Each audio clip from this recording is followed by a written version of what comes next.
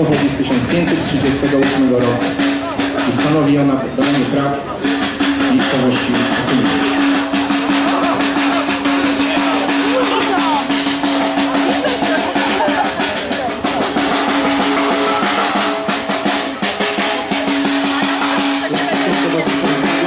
Wsi Zygmunta Fredryka Sterona Stanowskiego.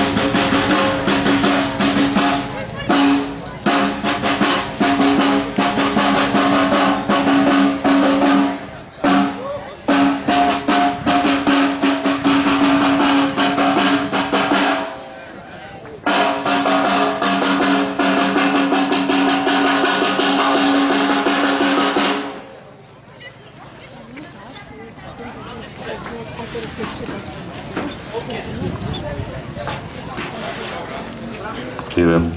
W imię Pana, Amen.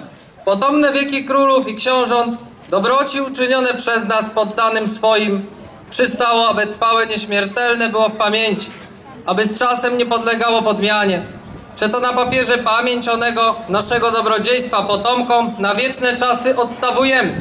Przeto my, Zygmunt, z łaski Bożej Król Polski, Wielki Książę Litewski, Ruski, Pruski, Mazowiecki, Żmudzki, Kijowski, Wołyński, Podlawski, Smoleński, Szowierski, Czernichowski. Oznajmujemy wszystkim i każdemu z osobna, którzy teraz są i którzy będą potem, że porozumiewawszy się w tej mierze z niektórymi senatorami i konsyliarzami naszymi oraz ze szlachetnie urodzonym Stanisławem Okuniem, ziomkiem naszym z księstwa warszawskiego mazowieckim zwanego, że zwyczajem naszej szczodrobliwości ku poddanym dla zachęcenia ich do usług naszych na prośbę im ci pana Stanisława Okunia łaskami, żebyśmy go obdarzali z łaski naszej królewskiej, z rady zezwolenia konsyliarzów oraz radców naszych, że wieś jego dziedziczną, długą wolą zwaną, w powiecie warszawskim leżącą na miasteczko nowe Okuniewo przemieniamy, postanowiliśmy, aby to miasteczko według kondycji miejskiej rządziło się.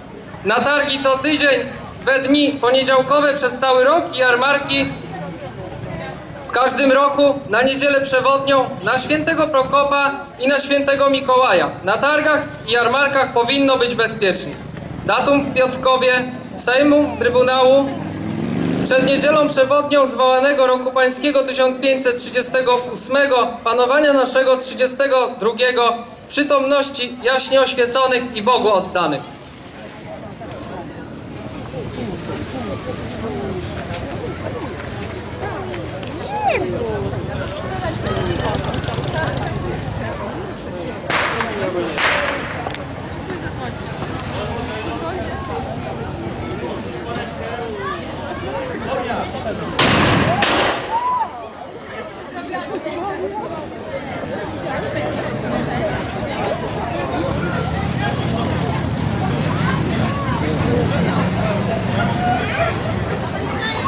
Jarmark uważam za otwarty.